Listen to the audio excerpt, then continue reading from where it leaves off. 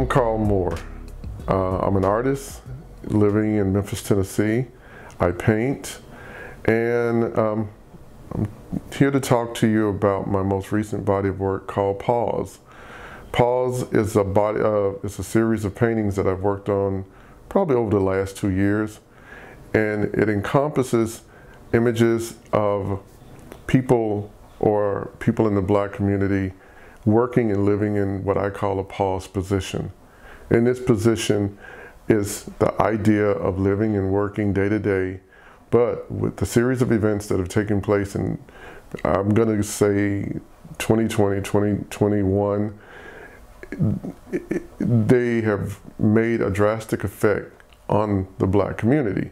And so the show represents the idea of being paused, waiting on the next event, waiting on the next situation, and the series of events that take place seemingly on a daily basis. This body of work is, you know, particularly pause. Um, it was developed over a two-year period, but it doesn't stray far from my working process and my body of work dealing with social injustice, social what I call social living, and just the idea of human being a human being and the right to live as a human being.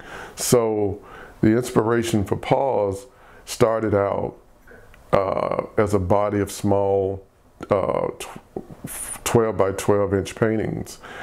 The series started at four, then it started at six. I always like to work in odd numbers, even numbers for some reason. And I stopped it at 20, which is kind of relevant to a, a, previous body of work I did a few years ago of 20 paintings. And I wanted to identify every aspect of what it is to live black. I mean, good, bad, uh, indifferent, but just the, the social connection of a community. And that's what most of my work is. It, it deals with a community of people living different aspects of life. So pause did come close to being relevant to what's going on today uh, in the news, uh, just the idea of living and the changes that are taking places in communities, the changes that take place on a daily basis. So, the, I, you know, when I think about pause, I'm thinking about uh, that person waking up in the morning and you're looking at the news and you're waiting for the next story. You're waiting for the next, um, not necessarily good story, uh, or you're waiting on the next event. But I think in general, people live this kind of life. You live paused, you're waiting. You're always waiting for something. So for this show and this body of work, just the idea of, I took a look at all my characters and I, you can see they're all paused, waiting or they're involved in a situation and you're waiting for the outcome. So it's more or less, um, it's, an, it's a indifferent interaction between the viewer and the artwork itself.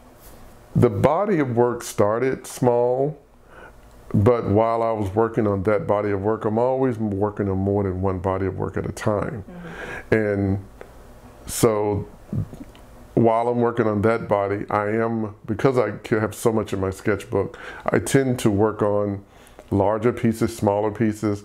I never like to feel that I'm tied to one piece at that particular time. So these small paintings took place um, over the last two years, but I've completed quite a few other larger pieces in between. Um, the, and there is a difference in these small uh, paintings. These paintings were done with a matte uh, acrylic gouache. Um, initially, it was kind of an, an, experiment with this paint. And then there was just something about the flatness of it that just kind of drew me in that it, it, it would lend itself to something more serious. So while I was experimenting and working on that body of work, which is called the American Gothic series. I was still working on larger pieces and pieces that were also in my sketchbook that I wanted to deal with. There's something interesting about the small pieces. When I initially started doing small pieces, I'm going to say almost 15 years ago, they were supposed to be a relief from the larger pieces. But this is like the third body of work, of small works that I've created over a period of time. And what has happened is the smaller pieces have become more uh, involved than the larger pieces. Uh, the larger pieces are what they are. They are, I consider them, I treat all my work the same, small or large, but the larger ones probably deal with a more complex, larger uh, context or narrative. And the smaller ones were supposed, to, were supposed to be simple, but as time went on, the smaller ones became very complex. They became more involved because you're dealing with a smaller space that you're trying to get a lot of context into. So the smaller pieces, although and there may be a level of simplicity in it, they ended up being more complex. They took more time. And the larger pieces actually became a relief from the smaller pieces. My work in itself, um, when I'm making, when I'm sitting down doing sketches, when I'm developing, I actually have working titles. Um, I try to build a, a, narrative or build a body of work before I actually start sketching or painting on it. So um, my titles are already in place um, even before I even think about the painting because how I look at it uh, from a research standpoint, I'm trying to develop, uh, I'm trying to develop a thought. I'm trying to develop a statement. So when I'm doing my research, it starts from the point I would like to create this particular painting that's going to say this. And most of the work goes into trying to trying to develop the sketch or develop something that would lend itself to the conversation.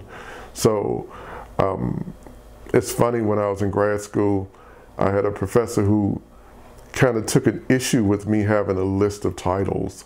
And I was like, to me, that makes sense because these are my objective bodies of work. This is the research I want to work on. This is the theme I want to work on. So I develop um, actually the narrative before I actually even create the, the actual body of work or the actual painting. So I, um, it's funny, I do have a uh, notebook with about 500 titles divided up by theme and section. And over time, some of them become obsolete, but a lot of the principle is still there. I think giving, giving the characters identity is important. Um, and a lot of my titles are, they're not leading, but they're more informational and directive. Um, I don't, I don't believe in very um, vague titles. I think the viewer can see what's, I think the title will help them sometimes, but I think the viewer can see what the artwork is. But the title is supposed to help with, as far as I'm concerned, with identification. So trying to give this very vague title, uh, you know, I think as an artist, you should be there for the viewer. And, you know, you're presenting your work to the viewer. And so the viewer is going to have their own idea or their own uh, last thought or uh, expectation of what the meaning is. But my job as the artist, artist is to present the work. And this is my title. This is what I'm saying. But it's at the end of the day, it's still up to the viewer how they want to perceive it, how they want to accept the work. Because 98% of the time, you're not going to be standing next to that work to explain it to everybody. The content in the work, um, you know, so far as the the mix of uh, very, uh, very calm, very pleasing imagery, and the very strong and very statement based. I, I think subconsciously when I'm working in my studio, I am trying to create a balance. I don't believe in shock value artwork, at least for me. And I don't, for me, I don't think trying to shock my, shock the viewers into submission with one particular statement, I don't think that's, that's responsible for me creating this body of work and, and this presentation. But I am trying to strike a balance as an artist and talking about the community, talking about humanity. I am trying, trying to strike a balance and say, you know, there are beautiful things in the world. There is, um, there is medium events, and then there are these eventful things that happen every day in the news. So it goes back to me trying to develop community or create a realistic view of the world we live in.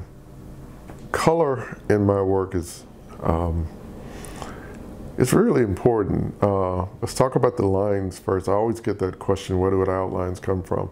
Well, outlines started years ago when I would love the drawing uh, on the canvas. And I always had this issue with losing the line quality when you paint something. And so as an experiment, I started just incorporating a thin outline. And I love the effect. It, it was the desired effect. And then I started using color and line to emphasize the meaning or the emotion in the work itself. So over time, that has grown.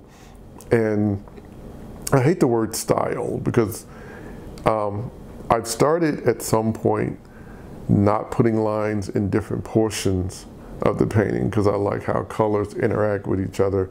And when you're working with this idea of line in a piece of art, you start to have to you have to balance the outline with the with the background with the color of the main character with the color of the secondary character. So it becomes a basically um, 101 in how to mix colors and and how to balance the the values and the tints and the emotions of a color and so for my work color really is the the basis because the basis I mean the color sets the tone. It sets the emotion. Color sets the the um, the the strength of the artwork. And using color is important uh, and when you look at my my work there is a balance uh, I have to balance lights, I have to balance darks, I have to balance tones and values. Um, there's a lot of black. Um, and the idea of using black in my work came from the I, came from the concept of, well, it came from two different levels. One was the stereotype idea of what black represents.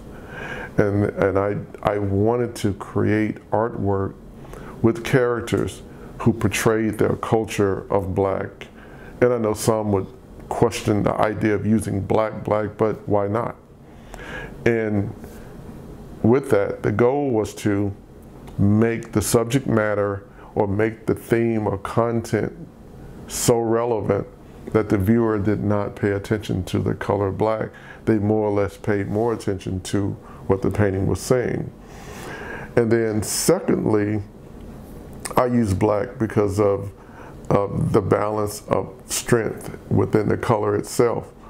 And it's all, it all works together because I'm trying to relay an overall message. And using black, to be honest with you, when you're placing it with other colors, um, you, you, you have to play with this level of strength and you have to play, and black will enhance any other color. So um, I love mixing paint, and there is something almost just relaxing when I mix that perfect color for me and being able to put it on canvas and then you're bumping it against other colors and they all have to work in harmony. So the I mean, I can't think of any other way to explain just how important color is in my body of work. And it's, and it's constantly changing. Um, I'm always striving, am, am I working too dark? Am I working too light? And I always end up somewhere with a medium value but still that color has to lend itself to the theme of the artwork. One of the pieces, and don't get me wrong, as an artist, I like all my work, but most artists do. Uh, something as simple as the phone call. I was really impressed with when, you know, when I finished, and I think artists do either love or get to a love or hate thing when they're finished finished with a painting.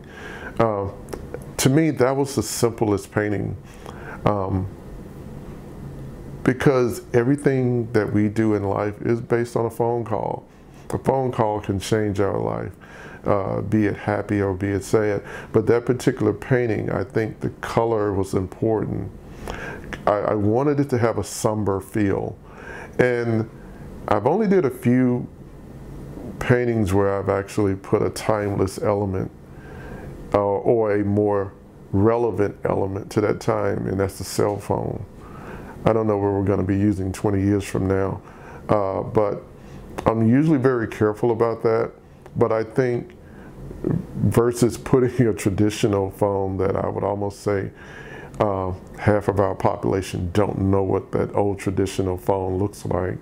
I think it was important because I think the idea of that of the phone call needed to have a phone.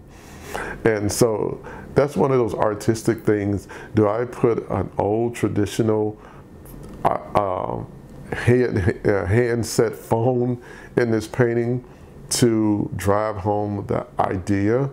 Or do I put something more modern and relative in it? So I went with kind of a really simple phone. But what's more important with the phone, if you're thinking about the thought process, is the color in that particular painting. The green, the uh, somber blue, which is kind of reflects a late night call, um, and how the figure is paused. So to give you an idea of the working process of a piece of work and and and what it takes to develop it. So it's just the positioning, the sketch, the color, the content, and that's where me working from an already preconceived title works for me because I know the dialogue that I want to develop. So the phone call was really something I really loved because, uh, and love, let me say it in the present tense, because I still, you know, the painting is still there. Um, it lends itself more to what it's supposed to be. And I think there's no vagueness in it. The phone call, you can't get any, any simpler than that. And working with these simple titles such as Water, uh, the man in the pool of water, and with that particular painting, what's more important to me is almost the environment that that he's that's around him. And sometimes the character is important, but the character wouldn't exist unless you develop the environment around that particular character. So, uh, water, I think, it, it kind of to me is a more calming piece, but it's one of those pieces. It's up to the viewer on how to how to how to conceive it, uh, what's going on, to conceive the idea, to conceive the narrative. Um, and I would say one piece that is very direct is recovery. Um, that particular painting, um, it again, is exactly what it's supposed to be a person in a bed recovering. But the environment is really more important almost than the character itself. The the content around the character is what builds the painting. So um, if you're talking about the structure of artwork, it involves the color, it involves the shape, it involves a foreground, middle ground, and background but it also just involves how it's presented.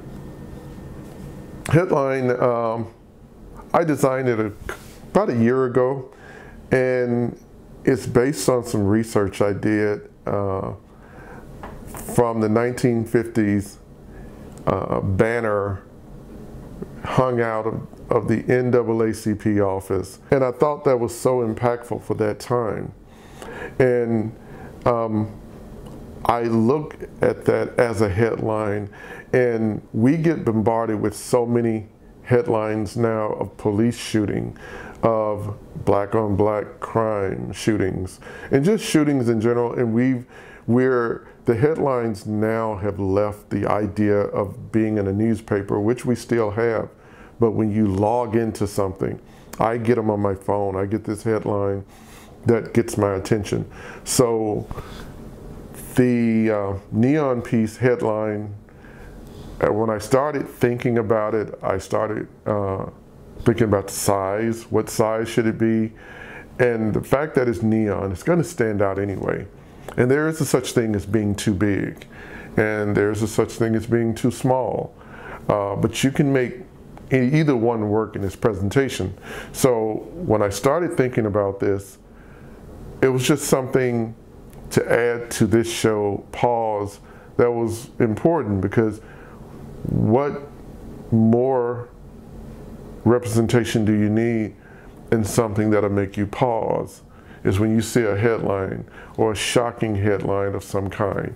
Uh, it's not my first time working with a text-based uh, piece of art.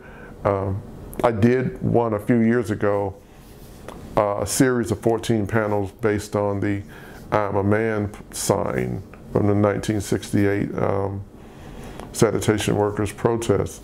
So and I've always a little bit worked with text here and there in, a, in my art, but this is my first uh, piece that's totally dedicated within itself, within itself to be a piece of art.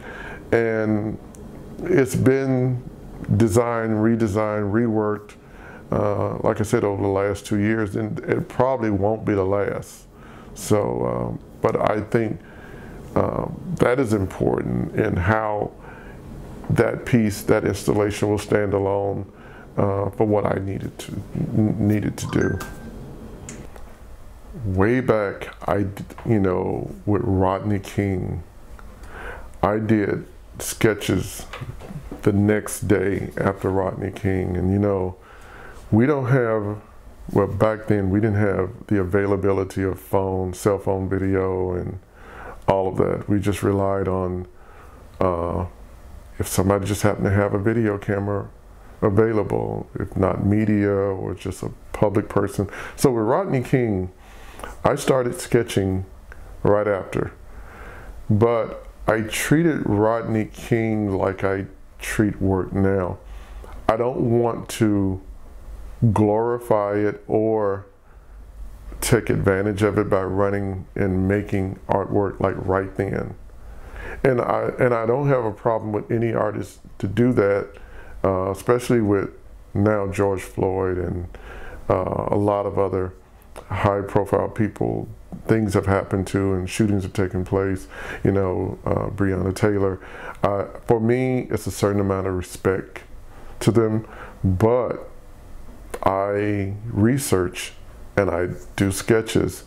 And so with, let's say with uh, Rodney King, I did not do the painting of Rodney King until like six or seven years ago.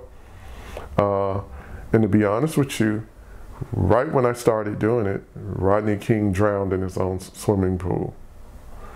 And so with, with uh, in the show, uh, Pause, there is a uh, painting of Eric Garner. And I waited before I did that because again, um, you know, it's kind of one of those things, do you want to sensationalize it because the event is so horrible and you want to bring it light, bring the light to people to know who Eric Garner was, which I think now versus when Rodney King, there is media everywhere there is footage, there's cell phone footage, and you can almost go see it anywhere. So I think I wanted it to have its time and for me to do the right kind of research and to sketch it because I want to make sure it's right. So when I finally did do Eric Garner, it's in one of the smaller pieces. And originally, it was going to be the 12 by 12 and it was going to be a larger painting. But after I finished and talking to a few friends of mine, it was like that small painting said it, you know, it had the impact I wanted it to have. It made the statement. so doing direct imagery based on current events, um, I have either sketched it or I'm planning to sketch it. Um, I like to take time and do a little research. I want to get the image right. And, you know, like for Eric Garner, that particular piece, I wanted to get the image right. I wanted it to lend itself to the injustice that happened to him, while at the same time, you know, I think art is archival. It becomes at some point part of history. So I felt it was important to do it right, along with all the other artwork you may see. But for me, um, to do it right, to do it respectful, but to give the impact and, and, and the seriousness of what took place, that was more important than just creating, oh, you know, the artwork for this event and then create the artwork for the next event. Uh, if I don't do them right then, it doesn't mean they're not going to get done. But I want them to fit into the context of how I work as a creative person, as an artist. And I want them to be correct. I want them to, to be respectful, but I want them to have the impact uh, that they should have. So uh, for me, there's a certain level of artistic responsibility. But at the same time, I think as artists, we're archivers. We we record history if we're doing that kind of work. Um, art is personal, and a lot of art uh, that you see is internal from the artist. It's their view of the world. It's their view of their personal life. It's their view of their environment so that they're trying to catch. So that is the important thing. And for me, working essentially with current events, current situations, most of my work reflects what's going on in the world around us. It reflects on what's taking place. It's just me as an artist uh, creating my own version or my statement to that particular work. Artists record the world as we see it, but we also record the world around us.